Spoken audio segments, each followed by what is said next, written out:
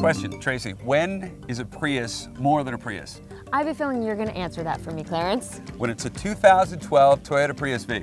It is longer, wider, and taller than Toyota's gas electric hybrids.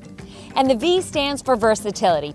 Basically, what we're talking about, Clarence, is a Prius wagon. Simply, it comes in three trims two, three, or five. Now, thanks to its larger size, the five passenger Prius makes more room for everyone and everything.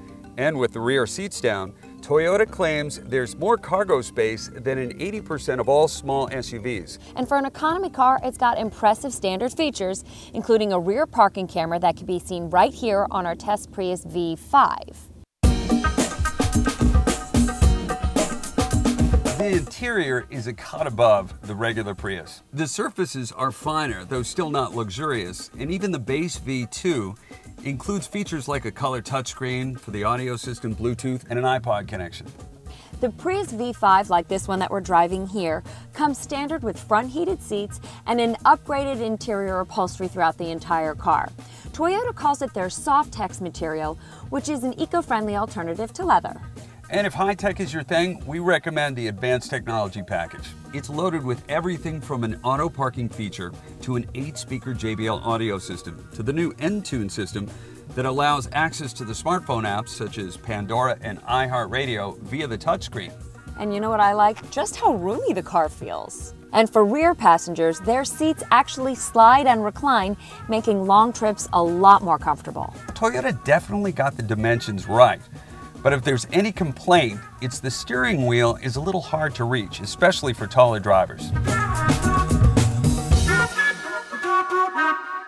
On the road is where the front wheel drive Prius V feels, well, kind of like a Prius, and I know because I actually drive a Prius. The combination of 134 horsepower from its 1.8 liter gas engine working in conjunction with the electric motor and nickel metal hydride battery, provides adequate acceleration through a continuously variable transmission, or CVT. Unfortunately, the engine can be a little bit noisy when the gasoline part of the engine starts working really hard. For example, climbing steep hills or merging with highway traffic, it's much quieter on the straightaways and there's very little wind noise. Now, a power mode is available if you want to boost acceleration. However, if you want a car in general Clarence that actually just has more power and you don't mind giving up some fuel economy, you'll do better with one of the diesel-powered Volkswagen TDIs. Plus, you'll have better handling. On the other hand, the Jetta TDI and other competitors, like the Honda CRV, they just can't beat Prius V's fuel economy. No, they can't. With EPA mile per gallon ratings of 44 city, 40 highway, the Prius V is at the top of its class, even if those numbers fall a little short of the regular Prius. You'll also save the most fuel driving in eco mode, but it's useful only for city driving.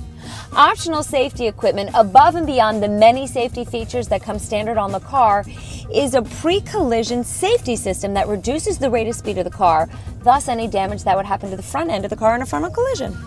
The base Prius V2 starts at just $26,400, while a V5 with optional advanced technology package will cost closer to $36,000.